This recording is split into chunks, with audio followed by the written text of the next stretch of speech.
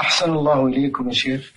تقول هذه السائلة يا فضيلة الشيخ هل الإنسان إذا حلف على شيء وفعل هذا الشيء قبل الكفارة هل تلزمه آه، كفارتين عن يمين أم واحدة؟ إذا حلف على ترك شيء أو على فعله وفي فعل هذا الشيء أو في تركه خير له فإنه يستحب له أن يكفر عن يمينه سواء قبل الحلف أو بعد الحلف يستحب له أن يكفر عن يمينه وأن يأتي الذي هو خير كما قال جل وعلا ولا تجعلوا الله عرضة لأيمانكم أن تبروا وتتقوا وتصلحوا بين الناس. فإذا حلف مثلا لا يصل رحمه أو لا يعطيه يعطي رحمه أو لا يزول رحمه فإنه لا يجوز له الوفاء باليمين بل يجب عليه أن ينقض هذه اليمين وأن يبر بقريبه وأن يكفر عن يمينه سواء كان قبل المخالفة أو بعدها قال صلى الله عليه وسلم إني لا أحلف على يمين فأرى غيرها خيرا منها إلا كفرت عن يميني وأتيت الذي هو خير. نعم.